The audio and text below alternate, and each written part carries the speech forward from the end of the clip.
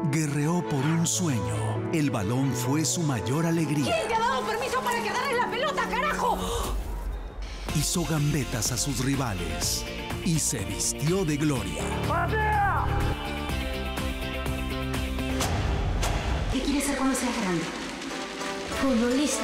La historia de un niño que se convirtió en guerrero. Estreno, domingo 28 de julio, 9.20 pm este, 6.20 Pacífico, por Cine Latino.